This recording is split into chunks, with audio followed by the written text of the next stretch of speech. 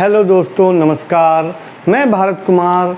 आज आपके लिए एक बहुत ही रोचक टॉपिक लेके आया हूँ रीजनिंग का। ये जो रीजनिंग है, ये भी आपके कंपटीशन में, जो जनरल कंपटीशन होता है, हर जगह आती है। और डाइस यानी पासा, इसका भी क्वेश्चन आपके पेपर में ज़रूर आता है।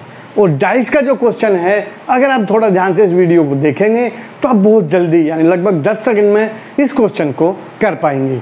डाई, ये जो डाइस है, यानी पांचा है, इसके मुख्य रूप से चार से पाँच प्रकार होते हैं। क्वेश्चन आने के, डाइस तो एक ही प्रकार का होता है, जिससे आप लूडो खेलते हैं, वो डाइस होता है आपका। जब आपका डाइस का क्वेश्चन आता है तो आपको डाइस इस तरह बना मिलेगा। ये। आपको दो डाइस दिए होंगे, और उनमें आपको नंबर दिए होंगे।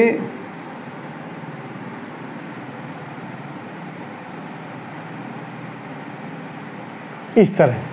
आपने देखें दो डाइस हमें दिए गए हैं, इनमें आपको कुछ नंबर दिए गए हैं। जब आपको दो डाइस दिए गए हों, उसमें जो सबसे ज़्यादा कॉमन क्वेश्चन आता है, आपको दो नंबर कॉमन मिलेंगे। इसमें देखो टू और फोर टू और फोर दोनों कॉमन हैं। जब हमें दो नंबर कॉमन दिए हों सेम दिए हों तो जो तीसरा नंबर बचता है, आप उसको यहाँ लिखेंगे, इधर से ई यानी आपसे केवल एक ही क्वेश्चन पूछेगा। बताइए वन के पीछे या एक के पिछली साइड में या विपरीत स्थिति में या ऊपर कौन सी संख्या हुई? छः ये सबसे ज़्यादा क्वेश्चन आपको पेपर में मिलता है। तो ये तो इसका प्रथम प्रकार हुआ। आप अगर एक बार केवल देखने से हल कर सकेंगे, इसमें आपको ज़्यादा कैलकुलेशन की ज़रूरत नहीं पड़ेगी। अब डाइस का दूसरा प्रकार हुआ, जब आपको दो डाइस दिए हों या तीन भी डाइस दिए हो सकते हैं या चार भी हो सकते हैं लेकिन हमें उसमें केवल ये देखना है, आपको दो डाइस दिए हैं और उनमें नंबर आपको दिए गए हैं। इस तरह। यानी एक नंबर कॉमन है और वो अपनी सेम स्थिति पर है। देखो ये थ्री यहाँ भी है और यहाँ भी है। और इसकी पोजीशन वो की वही है। जब पोजीशन चेंज ना हो तो दो की जगह क्या आया? चार। एक की जगह क्या आया? पाँच। यानी दो के पीछे चार और पाँच के पीछे ये। तो तीन के पीछे, यानी तीन की विपरीत स्थिति में क्या बचा? डाइस में छः नंबर होते हैं। One two three four five six तो one two three four five आ गया। बचा क्या? सिक्स जब आपको इस प्रकार का डाइस दिया हो कि जहाँ एक स्थिति कॉमन हो और वो अपनी स्थिति भी ना बदल रही हो। तो जिस स्थिति पर दूसरा नंबर आया, उसको हम यहाँ लिखेंगे और वो आंसर होगा। अब इसका तीसरा टाइप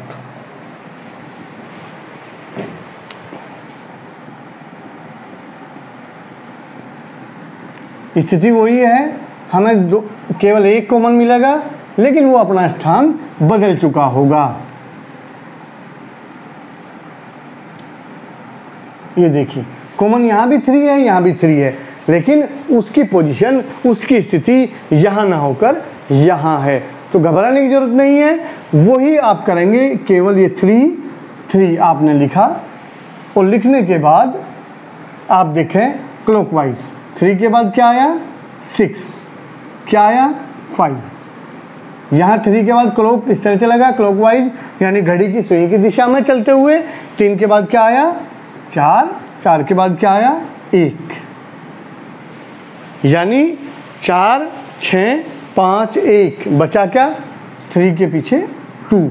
इसमें आपसे आप कुछ भी क्वेश्चन पूछे कि बताइए सिक्स के पीछे क्या फोर फोर के पीछे क्या सिक्स फाइव के पीछे क्या वन वन के पीछे क्या फाइव थ्री की बैक साइड में क्या टू ये आपकी तीसरी स्थिति इस पासे की हुई और ये तीनों मैं मानता हूँ कि आप केवल क्वेश्चन को देखने भर से हल कर पाएँगे।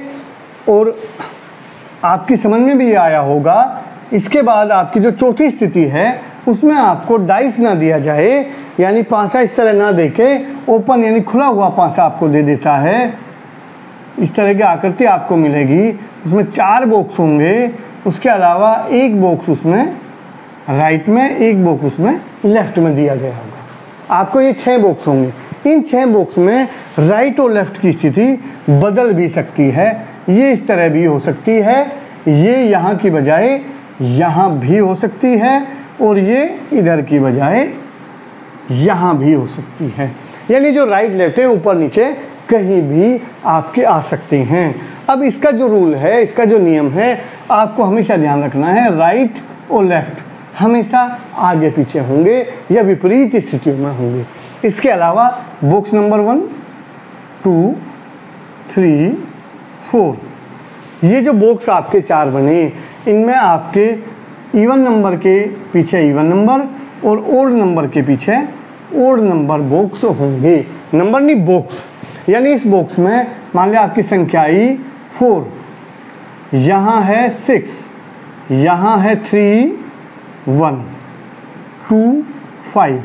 तो आप देखो, पहला बॉक्स तीसरा बॉक्स पहला बॉक्स में कितना है? पहले बॉक्स में नंबर आया फोर और तीसरे बॉक्स में नंबर आया थ्री यानी ये दोनों स्थिति आपस में आगे पीछे होंगी। इसके अलावा बॉक्स नंबर टू में आया सिक्स और फोर में आया वन ये दोनों स्थिति भी आपस में आगे पीछे होंगी।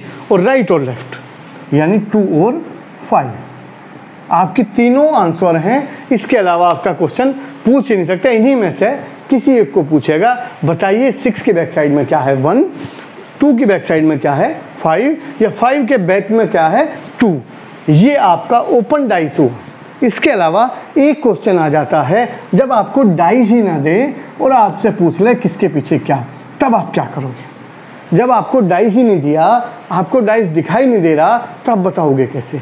उसमें आपसे पूछेगा, मानक पासा। मानक यानी कि स्टैंडर्ड डाइस मानक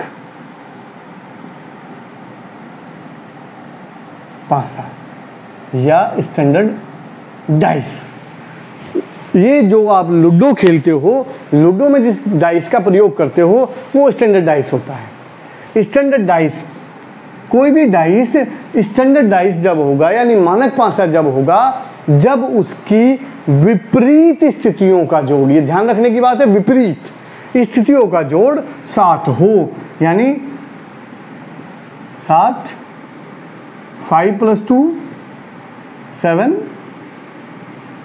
four plus three seven यानी ये कॉम्बिनेशन हमारा स्टैंडर्ड डाइस में होगा, यानी सिक्स की बैक साइड में वन फाइव की बैक साइड में टू फोर की बैक साइड में थ्री ये हमें दिया हुआ होगा, या दिया हुआ होता है, हमें बता दिया, मानक पांचा है। बताइए पाँच की विपरीत स्थिति में कौन सा अंक आएगा तो हम क्या बता देंगे? दो। क्यों? क्योंकि ये एक निश्चित फैक्ट है, ये प्रूव है कि डाइस जो होता है स्टैंडर्ड डाइस होता है, उसकी विपरीत स्थितियों का जोड़ छः आता, वो सात आता है तो छः के साथ एक, पाँच के साथ दो, चार के साथ तीन। अब इसमें, इसके अलावा आपको डाइस देने के बाद भी मानक पांसे का क्वेश्चन पूछ लिया जाता है। आजकल मानक पांसे का क्वेश्चन सबसे ज़्यादा प्रचलन में है। आपको चार डाइस वो देगा, यानी चार पांसे बना के दे देगा, और उसमें पूछ लेगा कौन सा मानक पांसा हो सकता है। या कौन सा पासा मानक पासा नहीं हो सकता।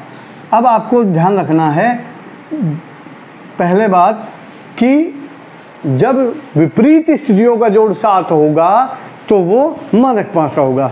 लेकिन अगर वहीं सात वाली स्थितियों का जोड़, वहाँ क्या था? विपरीत स्थितियों का जोड़। यानी जब विपरीत स्थितियों का योग, विपरीत स्थिति मैं क्या लिख रहा हूँ? एक जब विपरीत स्थिति का जोड़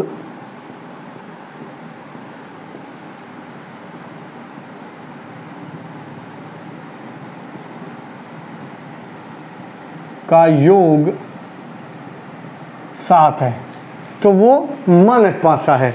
लेकिन जब विपरीत की बजाय सात वाली, यानी ये, जब सात वाली स्थितियों का योग सात हो जाए तो वो कभी भी मानक नहीं होगा। यानी मानक होने की कंडीशन क्या है? विपरीत स्थितियों का जोड़ सात हो, और मानक ना होने की कंडीशन है सात वाली स्थितियों का जोड़ सात हो। तो आपको डाइस दिए गए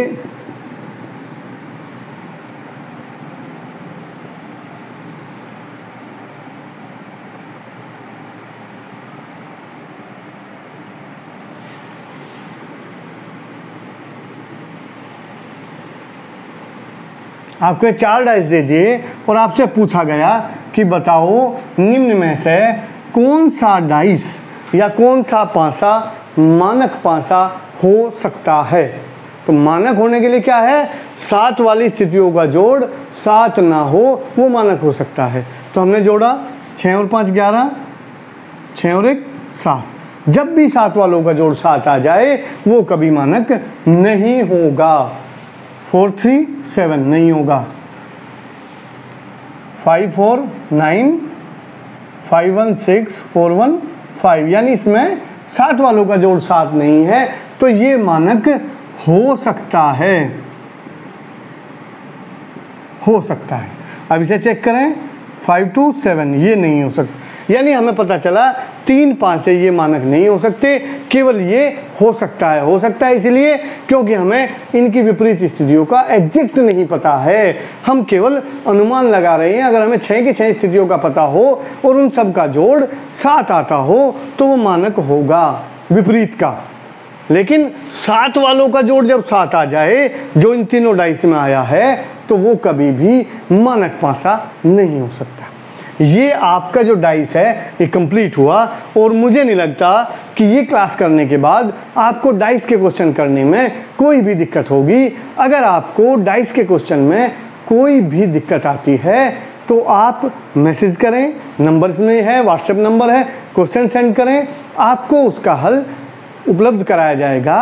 ये, इसी आशा के साथ मैं आज की क्लास पाँचे के जो क्लास है, वो समाप्त करता हूँ।